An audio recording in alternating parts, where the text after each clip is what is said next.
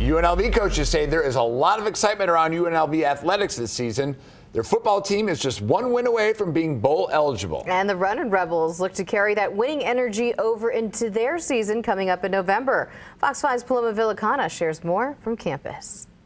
Busy Monday here on the campus of UNLV. The Runnin' Rebels in practice, getting ready for their season right around the corner. UNLV football in practice this morning, getting ready for their road trip at Oregon State this week. We'll be hearing from the Runnin' Rebels and the Lady Rebels on their upcoming season at Mountain West Media Days.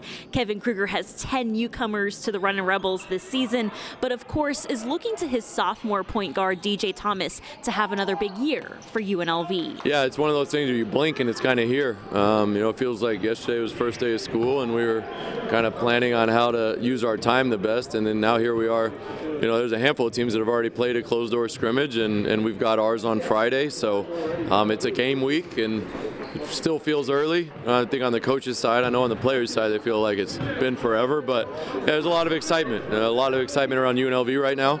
Uh, a lot of excitement around our program as well. And uh, it, it's just a lot of fun right now to be a part of UNLV. And over at the Fertitta Football Complex, we've noticed some new decor outside the building. All Americans Jackson Woodard, Ricky White, and Jacob De Jesus are leaving a legacy at UNLV. And Barry Odom says these three men have embodied what the Rebels and the future of this program will be. Those three guys are on there because they were All Americans last year. Jackson was an All American academically, first one in school history.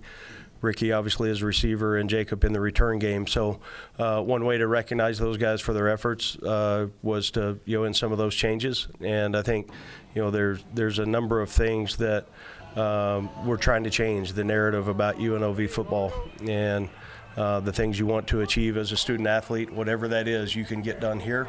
Those three guys are, are prime examples of it. Fox 5 is traveling with UNLV football on the road this week, getting ready for a 7 p.m. kickoff at Oregon State. We'll also be at the Mountain West Media Days this week, catching up with the Runnin' Rebels and Lady Rebels as the women's and men's basketball season kicks off in November here at UNLV. I'm Paloma Villicana, Fox 5 News, local Las Vegas.